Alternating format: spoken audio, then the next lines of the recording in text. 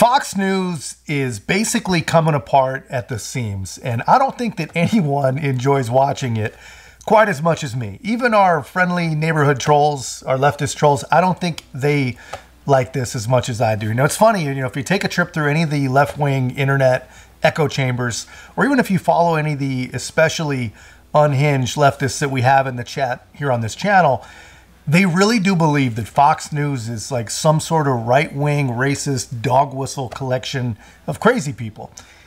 They somehow they have no idea that all they are is the same mainstream liberal media special interest puppets talking the same January 6 nonsense, the same Nikki Haley has a chance fantasy. You know, basically, aside from actually covering the truth about the most dangerous border in the entire world, ours, they're the same. They're the same as any of the CNNs or MSNBC. They're just the same animal, man.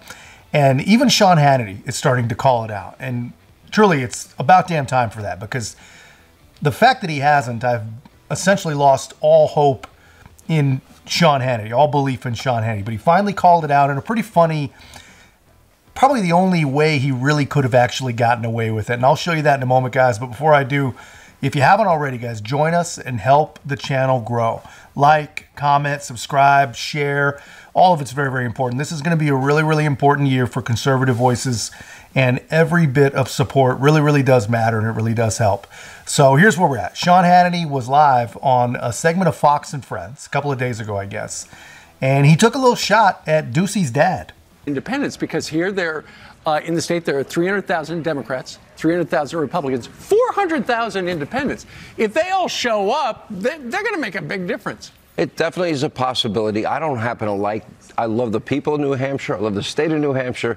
I don't like their system, what they call an open primary, where people, you know, they were switching in the last number of weeks from Democrat to independent. October So they could wreak a little havoc inside the Republican Party. Their thinking is, okay, if we help one candidate, in this case, it would be Nikki Haley, um, get over the hump, then, okay, that's more money than that whoever the inevitable Republican candidate is, it seems like Trump by a long sh- uh, shot. It, I, I think if Trump wins this tomorrow by the margins we're seeing, it is over. I think a question for Nikki Haley, who I think ran a great campaign. Ron DeSantis ran a great campaign. All the, you know, all the money, Monday morning quarterbacks don't mean a thing to me. Um, he went to all 99 counties, Ron did, in uh, Iowa. Ultimate retail politician. Retail politician, and he went out, he asked people for a vote. In any other year, what did he have, 21, 22%? That would be a great showing in Iowa. Right. Um, but this, I keep saying about Donald Trump that he de- defies all conventional political gravity. That's an understatement. Right. That says, well, to you Why it is. is that all the- What's happening to you, Steve? You're, are you moving to the left on me? What are you doing? I am screen left right now.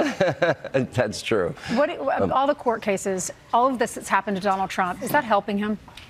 It certainly, that's where it defies conventional political gravity. You would think somebody gets arrested or somebody gets arraigned, that, oh, your poll numbers are going to go down. But it's all by Democrats, every You single see, case. And we saw that in Iowa in the exit polls. 80% of the people of Iowa, smart people, salt of the earth, and they see through this. Starting with the Russia hoax, impeachment one, impeachment two, you know, 51 Intel, uh, former Intel people lying about right.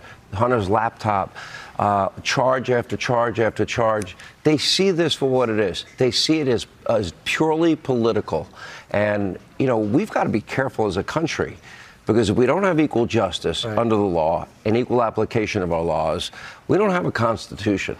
And it gets to be that serious, or we weaponize and use our law to criminalize political differences. Another. Yeah, so you see that. I mean, all started with some pretty interesting stuff, actually. For example, I did not know that about New Hampshire's primary system. I didn't know that that, that was a thing. People just switching over to basically play spoiler.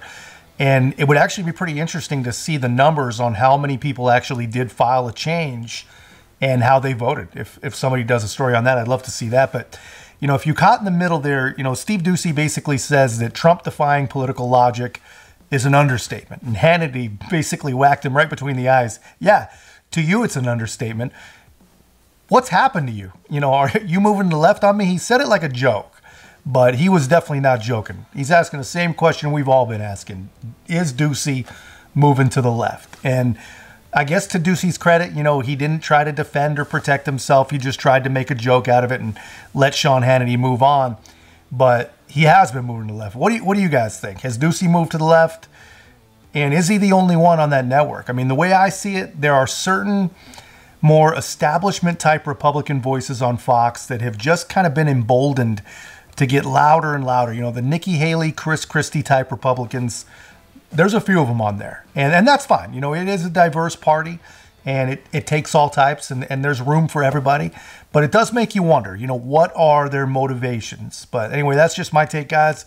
Let me know yours in the comments. And if you haven't already, don't forget to like, comment, subscribe. Most importantly, share the channel. We'll see you in the next one.